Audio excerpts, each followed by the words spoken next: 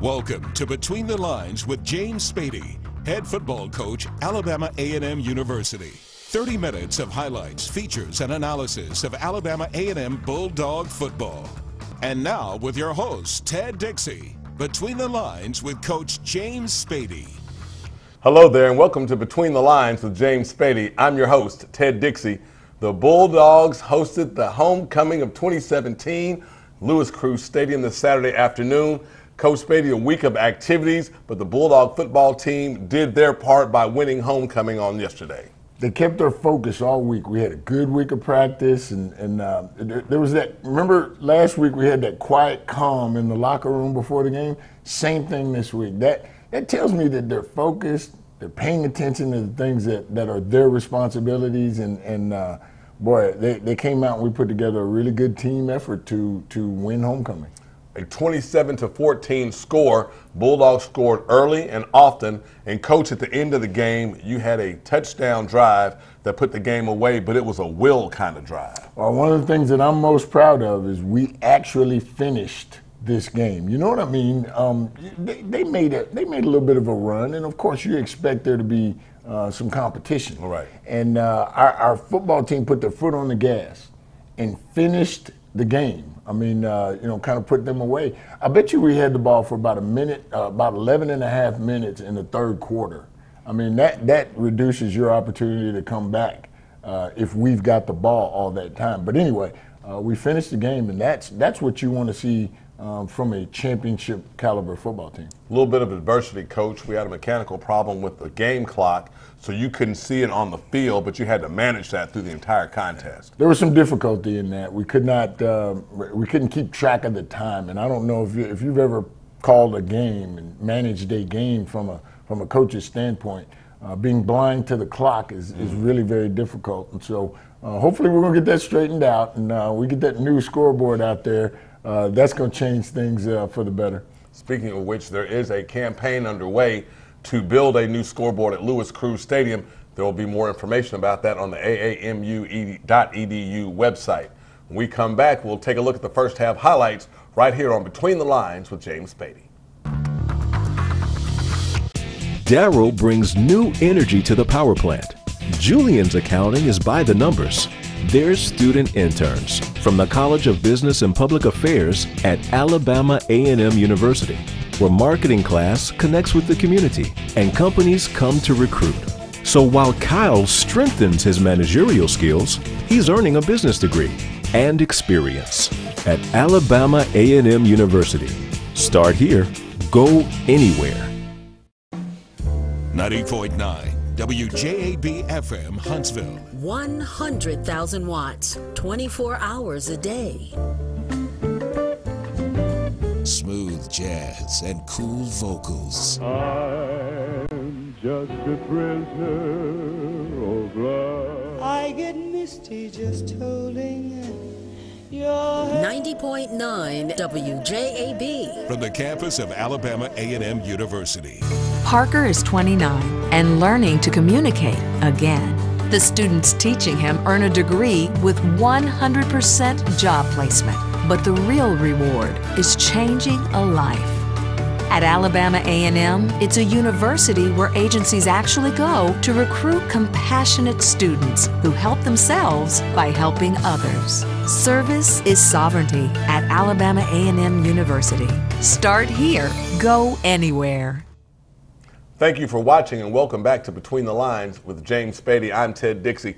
Coach, it's homecoming. There are a lot of distractions during the week that you mentioned, but on particularly on game day, there's a lot of activity around the Hobson Field House. How do you handle that? Uh, you know, again, um, a lot of that stuff is around us, not necessarily invasive. Um, and, and what we try to do is isolate our guys inside Hobson Fieldhouse. There's, there's, you know, they've got to get ready for the game. There's, mm-hmm. there's stretching to do there's taping to do. There's there's the mental, um, you know, getting yourself emotionally and mentally ready to play to do. Um, and, and our coaches are going through that as well. So uh, we just spend our time trying to isolate and, and uh, get ready for the game. And of course, with UAPB coming to town, they won last week. They were thinking this was a big game for them, so we were going to see the clash of two undefeated teams in the conference. Well, there, there was much said on, on social media Um, and, and, you know, our kids pay attention to that. It's, a, it's And, the uh, 21st century. Yeah, and you've seen, you know, you've seen the the the, the printouts of stuff that guys say all around the, the field house. You've seen that. And so what happens is our guys might go read something, they print it out and tape it up on the on the uh, bulletin boards around here. And you know, hey, if you want to continue to fuel it, uh, that then that to me is your problem. We, we, we would rather just play the game on the field. Someone would say sticks and stones may break my bones, but the motivation you get from something that you put up helps you how? Well, this is a day and age of information. I mean, everybody has access to information 24 hours a day. And, uh, you know, again, any little thing that we can use for motivation, we're going to use it. And, and our guys draw energy and fuel from those, those motivations. So, uh, you know, it can be a good thing. You were picked to finish fourth in the Eastern Division as we look at the opening kickoff here in our highlight package. You're picked to finish fourth, coach, and you sit undefeated 2 and 0 right now. So we know the pundits might have been wrong, and this opening drive of UAPB will get a turnover here and a touchdown. I'm gonna tell you to pump your brakes first, Ted, because you know we have a goal of just being one and zero. Uh, if we can be one and zero this week, that's uh, that's huge. I think that was Yurik Bethune on that uh, on that uh, pass rush right there. He was uh, really a dynamic player. And then here we go, Devontae King. He just keeps making plays, huh? You know what, coach? The captains yesterday had superb games, and that continues a trend. Everyone that's named a captain has a good game that week. Yeah, Avery Giles, Jordan Bentley, uh, Devontae King, and Chaz Wilson were our captains yesterday. And here's Devontae just getting it off to a great start, showing that kind of leadership through his actions. I mean, that's that's amazing. Now he scores his touchdown. We kick the extra point, and and I think we never uh, fell behind after that. We led from from uh, Wire to wire. From wire to wire. That's very good. And of course, a big shout out to our seniors, of which Devontae King is one. Coach, you get a victory in their last homecoming game. Yeah, and that's pretty awesome for those guys. They they draw a lot of, uh, you know, th- this is stuff that they're going to come back to 10, 15, 20 years from now. And uh, those, those are all huge things for them to uh, to draw from. Defense right here playing their butts off, man. They, they really, and, and listen, I've said this before, and I mean it, that defense wins championships. And to have those guys flying around like that, that's a, we're going to have a chance to win every game with that. Aqeel Glass passing there that we Yeah, just yeah, saw to Xavier Moore. He was 26 of 43, 291 yards, coach. As a freshman quarterback, he plays like he's a junior senior. That's that's very good for a young man to uh, to basically you know bring himself up to a level um, that that he can only get better at, and uh, you know he's he's managing the offense really well, which is why we made him starter. Here's a weapon right here. I, I've told you that Octavius Miles is a weapon, right? That is just an incredible run. He, He's like- he, he caught a pass. It's a possession route that we have out of our empty package. He caught a pass and he shredded the defense. And then uh, we, we stalled down there on the goal line and, and kicked the field goal. I'm, I'm wanting to score points. I always want to score points. It's a successful drive if you can score points. So the Bulldogs now will kick off. And you had a short kickoff going yesterday. You said, Coach, that the wind was playing a little bit of oh havoc yesterday. God, that wind was amazing because you know it was gusty, and you know one minute it, there was no wind, and then all of a sudden it gusted, and, and it seemed like it was 15, 20 miles an hour. I don't know. I'm not a meteorologist, but. Um, but but so wind, yeah, big hit right there. Big hit. Was that Kenny Davis? Kenny Davis with Uh, a wood yeah, layer. as they used to say back in the old days. There go that man, mama. Oh goodness, Kenny Davis with a great game. We didn't think he'd play this week, Coach. No, he, he was uh, he was hobbled after last week with the shoulder injury. Um, there's Aqeel just you know hitting another possession route for us. He, he again is is uh, doing a good job of managing the offense. We bring Damien in. Uh, Damien hits a, a hitch route right there. We get really good yardage. You know, I think that one-two punch that we have at quarterback, um, you know, can give other teams fit.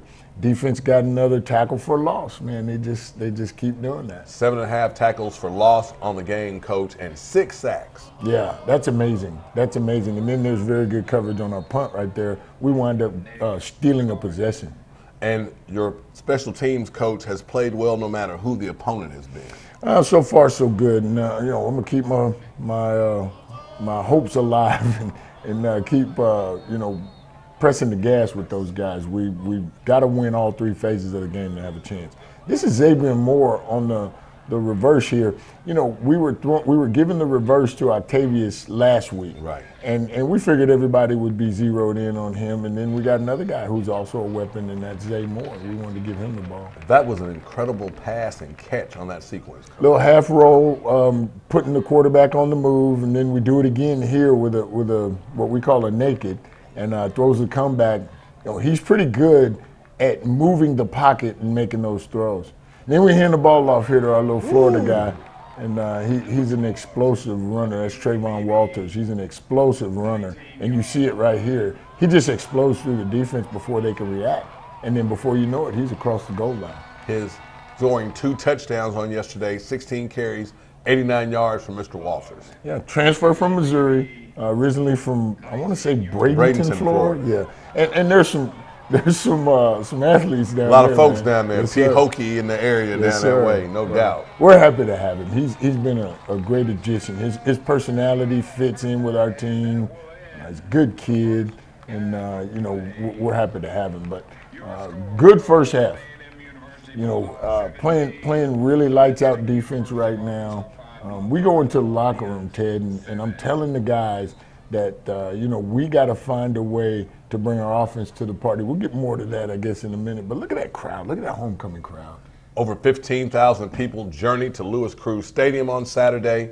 Fine performance by the Marching Maroon and White, and we yeah. were so happy that UAPB brought their band as well. Oh, you are? I am because okay. it gives people the whole college pageantry experience, and then you get to see someone else have to run off the field like we do when we go to someone else's okay, game. Well, that's really nice of you. That's really nice of you.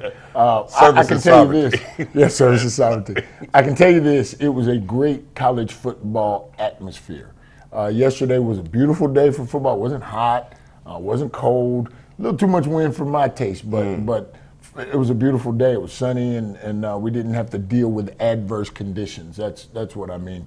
Uh, and then the crowd was festive.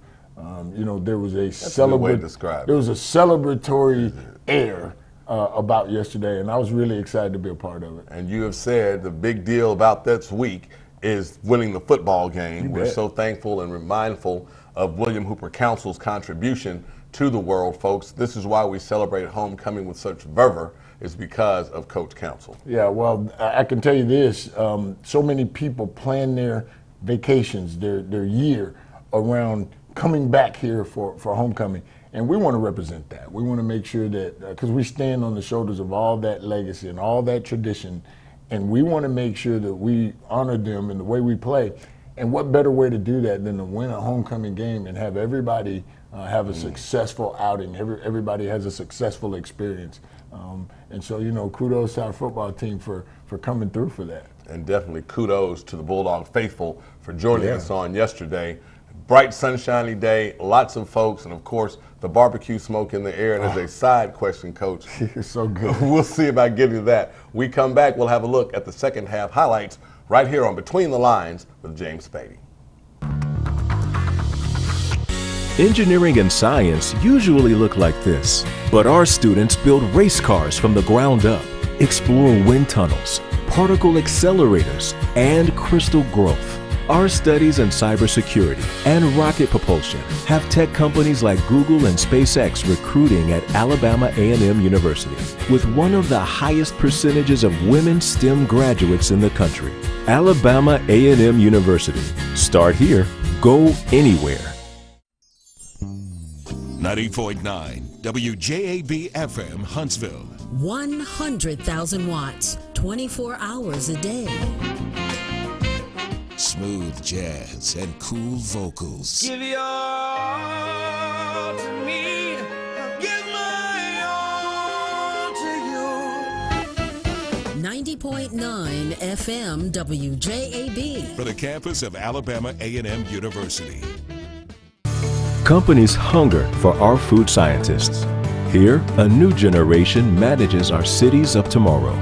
The discovery of hardier plants, healthier animals, is growing at our research station, Alabama A&M University, where new designs and ideas are put to the test. Be a researcher in our labs or a forestry fire dog in our fields. Alabama A&M University. Start here, go anywhere. Thank you for joining us on Between the Lines with James Spady. I'm Ted Dixie. Coach, you're going in at the half. It's homecoming. Lots of revelry going on outside. Did you make a detour? Did you have your meeting outside by the dog pound, cooking barbecue, or did you go in the locker room? I told the coaches to meet me over in the tailgate area so we could find some ribs and, and some turkey legs. We were talking about turkey legs earlier, so we could find something to eat. But I, I got to tell you though, during the course of the game, you know, you, you block out a lot of distractions. Mm-hmm. It is hard to block out some some good smoked meats, man. It, you can smell it, and it's it it just distracts you big time. Does that make give you a little motivation, coach, that you like now if you want to enjoy that meal, you need to play hard in the second half and let's close it out? I mean, to a certain extent, Mm, really not, not so much. You don't you don't really think about it, but but it does. You know, you'll smell and you're like, some smells good, and, you- and we haven't eaten for three or four hours, so you're pretty right. hungry by that time. But uh, we had work to do in the locker room at the half. Um, we had we had some getting better to do, uh, some adjustments to make.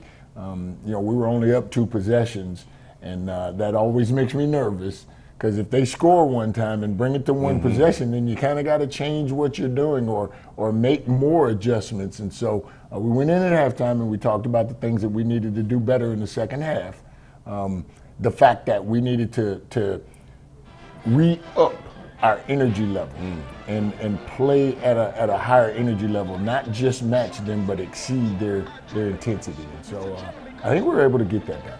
We have to give a special shout out to our homecoming court, Miss Alabama A&M University, and of course the marching maroon and white doing their thing, and also to the university choir, which gave one of the most rousing renditions of the Star Spangled Banner I've ever heard. Yeah, I heard a little piece of it uh, from the locker room, and I think that was uh, that was a wonderful thing to see.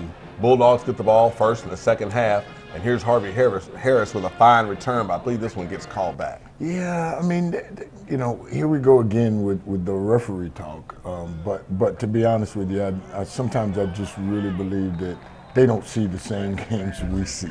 And that's Rod Randolph on the reception. Coach, it looks like he was your possession receiver in the second half. I mean, you know, one thing that I like about Aqeel as a quarterback is he's going to take what the defense gives you. And, and uh, yeah, he went to Rod. Rod was a guy that was getting open.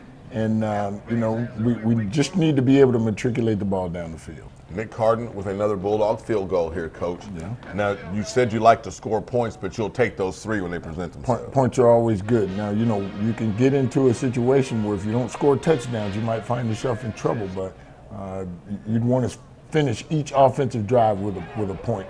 Uh, that's very nice, our defense right there. And, and again, they've been aggressive. They've been flying around. Travis Pearson, who, who does a good job with that group of guys, he's responsible for that, that uh, unit. Only giving up 133 yards How about on the that? day. That's amazing. That's a.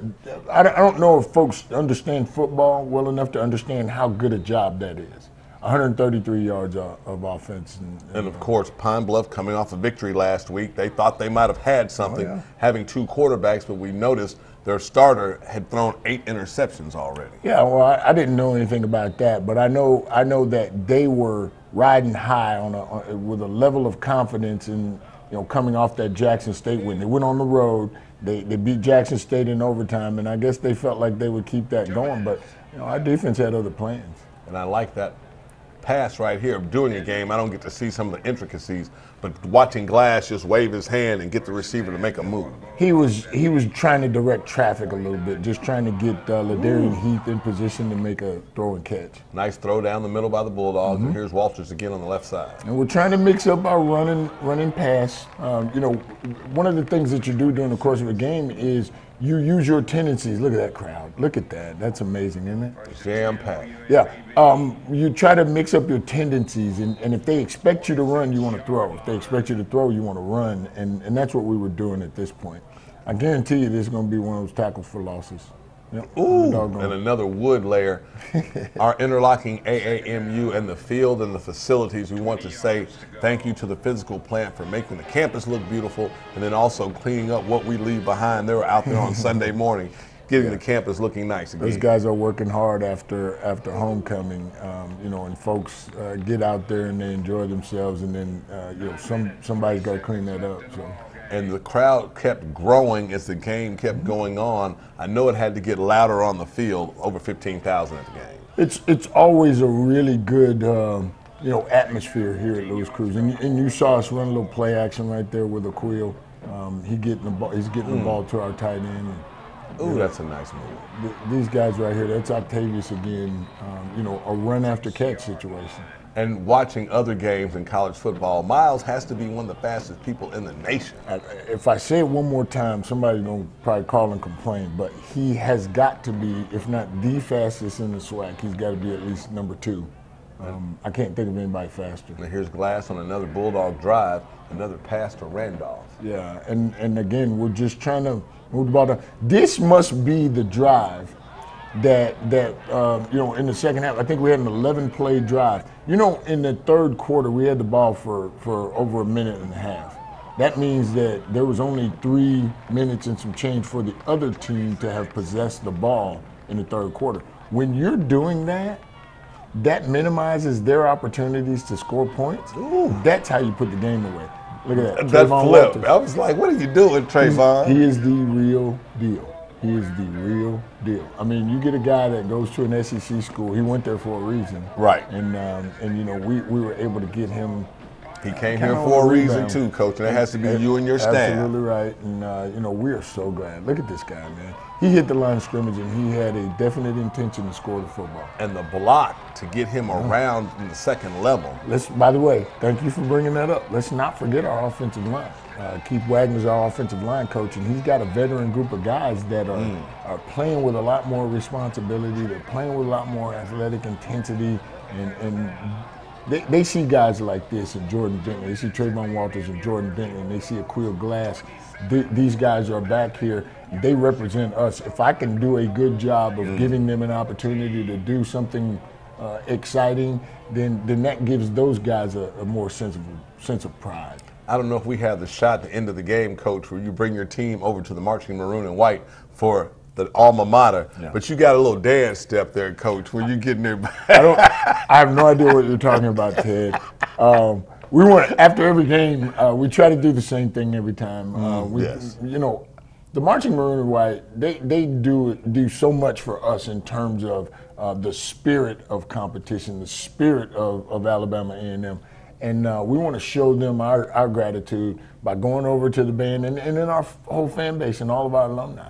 We want to go over to the band, we want to sing the alma mater, um, and we want to show people how much we love uh, being in the maroon and white.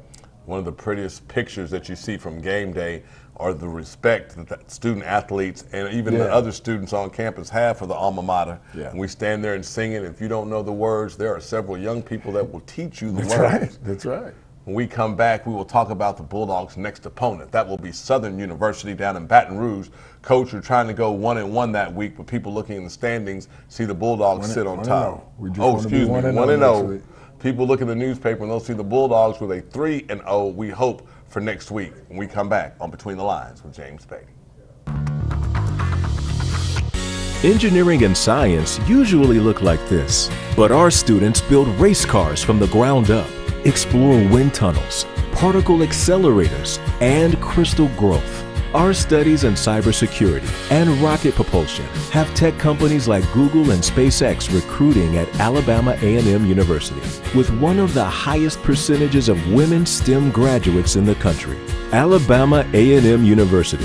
Start here, go anywhere. 90.9 WJAB FM Huntsville. 100,000 watts, 24 hours a day.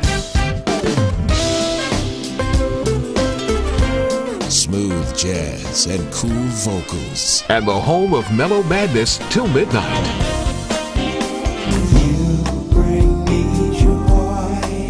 Ninety point nine WJAB. From the campus of Alabama A&M University. Companies hunger for our food scientists. Here, a new generation manages our cities of tomorrow.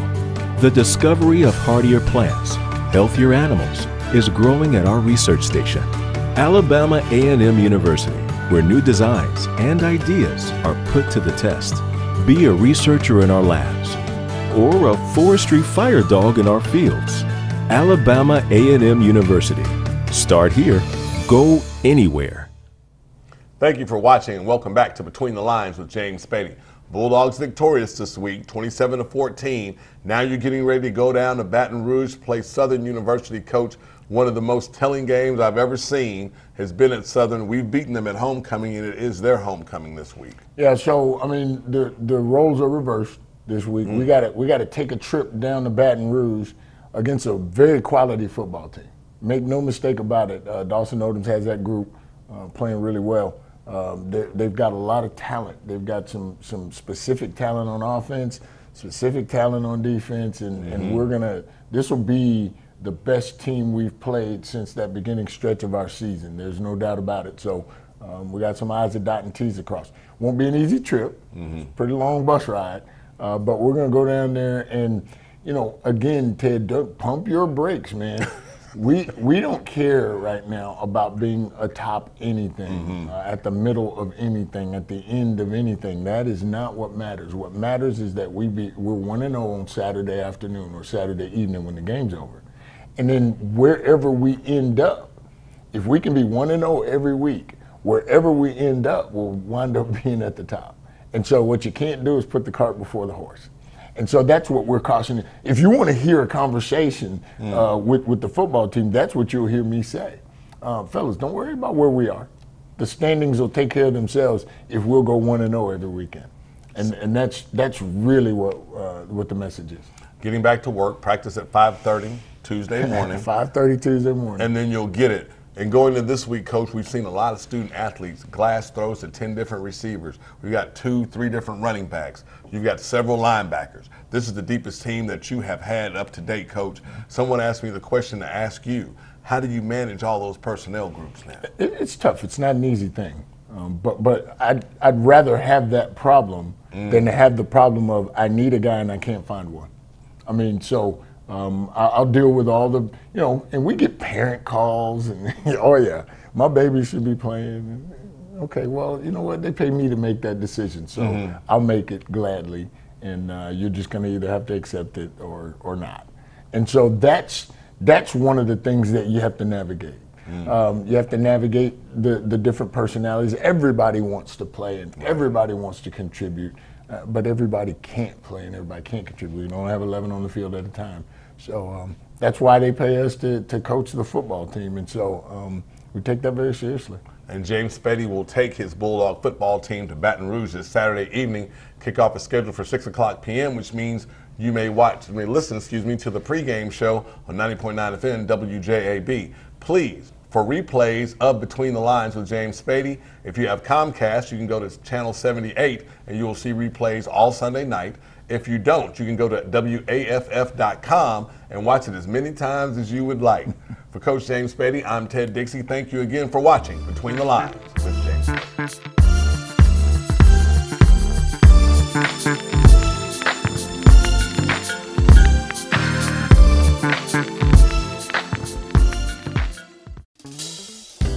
Spady. Ninety-point nine WJAB FM Huntsville. 100,000 watts, 24 hours a day.